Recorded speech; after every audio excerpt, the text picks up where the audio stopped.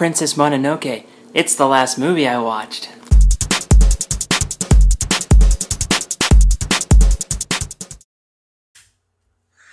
Hey everyone, welcome to another episode of It's the Last Movie I Watched, featuring me, Danielle Kaessner, who is the last one to have watched that movie. So it's a show where I look at the movies that I'm watching, why I'm watching them, and kind of give you a little insight into the world of Danielle's movie habits. So today's episode, we're going to be talking about Princess Mononoke. Now, if you haven't seen this movie, I can imagine there's a reason behind it. Either A, you see that it's animated and you shy away from it, or B, you're not a big fan of Japanese style animation. Well, to be perfectly honest, once upon a time I wasn't either. Me, you know, I the first Japanese animated movie I think I really watched was one of Miyazaki's. It might have been Spirited Away. But once I watched that one and saw that pretty much every other one of his movies is in the IMDb top 250 somewhere, I had to, you know, go through them and watch them all. And first run through, wasn't a big fan. Now I can't get enough of them. Now I am like a die-hard Miyazaki fan. And that's because when you actually watch these movies, you see just how incredibly amazing this guy is as a director. And for the most part, his movies are, I wouldn't say they are kids' movies, but they definitely are friendly enough for kids to be watching. Princess Mononoke, on the other hand, is not so much a kid friendly movie. In fact, this is probably his most intense movie to date. And since he probably won't be making many more movies after this, um, or after his last one, The Wind Rises, um, it will probably stand as his most intense movie ever. Um, so, to give you kind of a little bit of background, if you haven't seen it, it's basically about a. It takes place in Japan, allegedly. It takes place in.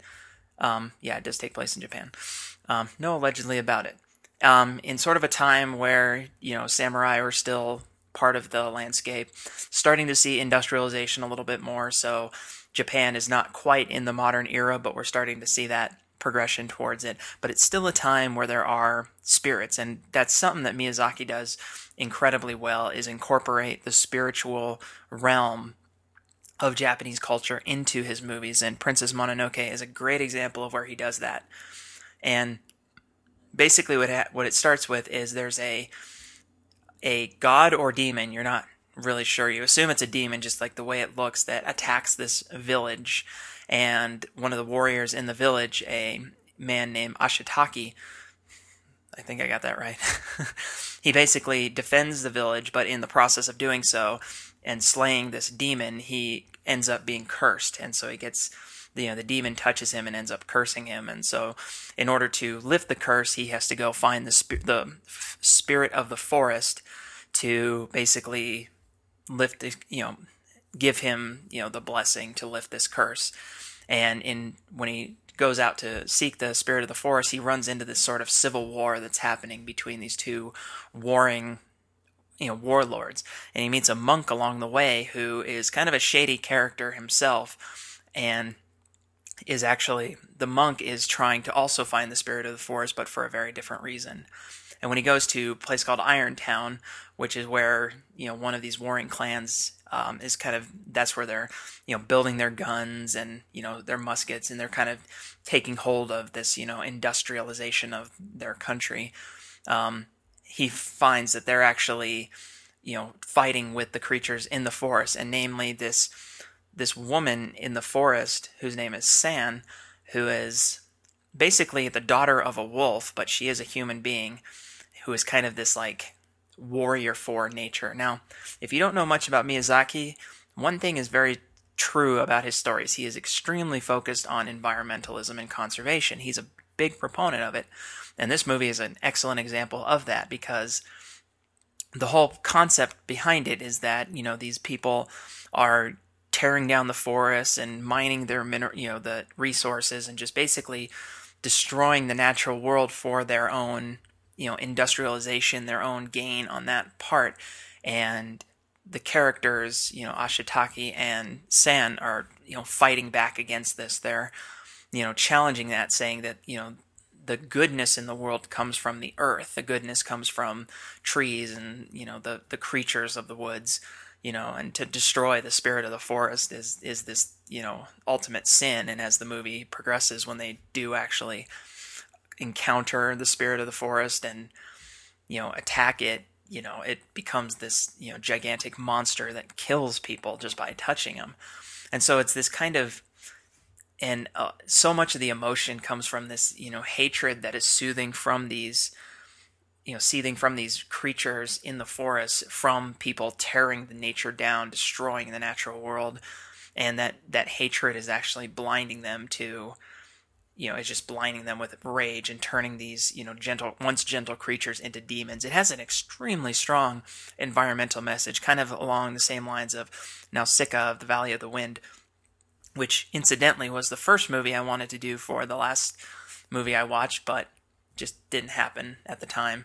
Um, I'm sure I'll watch it again very soon because that is another fantastic movie. But why did I choose this one? Well, course, it was Sunday, so I have to watch something animated on Sunday. That's just the way things are. But there's something about this movie that is just utterly captivating. It's it's violent. That's that's one thing that you get from this movie that you don't necessarily get in any other Miyazaki movie. At least not to this extent. I mean, this is really a violent movie. But there's something about the intensity of his characters. You know, he always has, you know, a goofball character, you know, somebody who is you know, maybe confident but goofy or somebody who's, you know, very just like, you know, kind of clownish. He always has somebody like that. So there is at least some comment. It's not like an overly somber movie. This is not Grave of the Fireflies, but it is very it is a very stern, you know, serious movie because I think, you know, it it has such a respect for the story it's trying to tell and when you when you get into the story and you start following this character Ashitaki, you know, you're rooting for him to succeed because you can see that, you know, it is this, you know, personal journey for him. It's not just that he's trying to lift this curse off of him, but it's helping the, you know, the earth and nature along the way. And, you know, he falls in love with San, who is, you know, this freedom fighter sort of character who's just, you know, out there you know, challenging the industrial machine that is just tearing their land apart. And you get this, this very strong emotional core to this movie. The, the emotions in this movie are extremely powerful. Not to mention, the animation is fantastic. It's, you know, vintage Miyazaki. That's that's all I can say is this is this is that kind of the way his style isn't maybe the most distinct, but he he does it with such respect for his story and for nature and for the characters and everything. Miyazaki is just a brilliant director, and it's sad to think that he may never direct another full length feature. But if Wind Rises is the last one he gives us, well, we're we're pretty much thankful for that because it was a fantastic movie itself. Now, diehard Miyazaki fans are probably going to you know shun me for this one, but when I watched this, I did have to watch it with dubbing which it's a little bit easier with animated movies, but still I had to watch the dubbed version because I can't always sit and just watch a subtitled movie. I don't I mean I'm always doing other stuff too.